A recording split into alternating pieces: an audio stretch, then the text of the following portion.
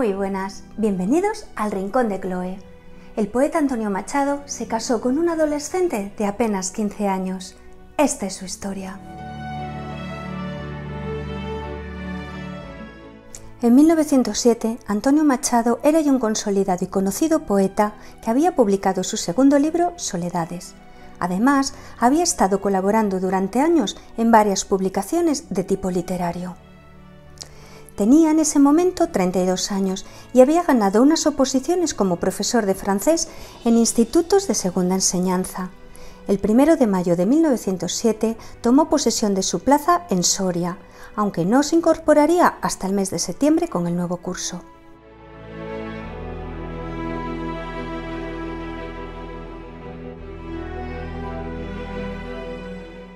Un hombre acostumbrado al Madrid literario de la generación del 98 y al París vanguardista.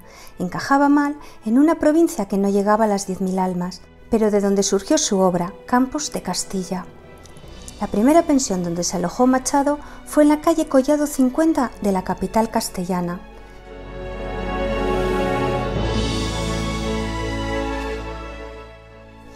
Leonor Izquierdo era una jovencísima chiquilla de tan solo 13 años que era sobrina de la matrona del establecimiento.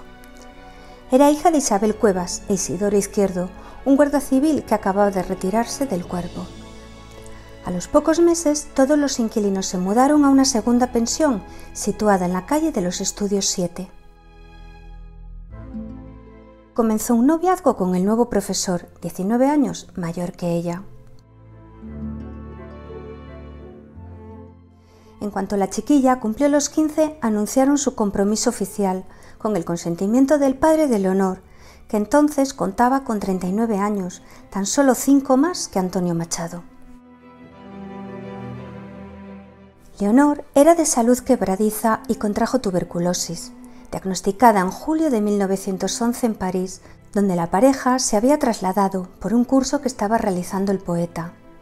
Volvieron a Soria, para que el aire castellano hiciera mejorar a la pobre muchacha.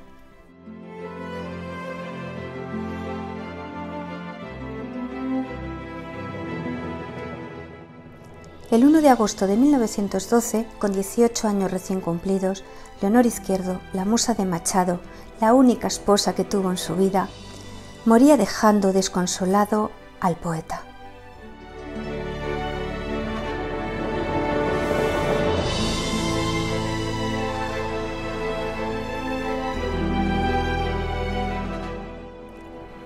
Una noche de verano, estaba abierto el balcón y la puerta de mi casa, la muerte mi casa entró. Se fue acercando a su lecho, ni siquiera me miró, con unos dedos muy finos, algo muy tenue rompió. Silenciosa y sin mirarme, la muerte otra vez pasó delante de mí. ¿Qué has hecho? La muerte no respondió. Mi niña quedó tranquila, dolido mi corazón.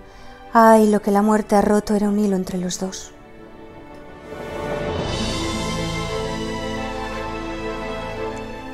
Y esta es la breve historia del honor izquierdo, la chiquilla que fue mujer y niña del poeta Antonio Machado. Esperamos sus comentarios. Nos vemos en el siguiente. Gracias.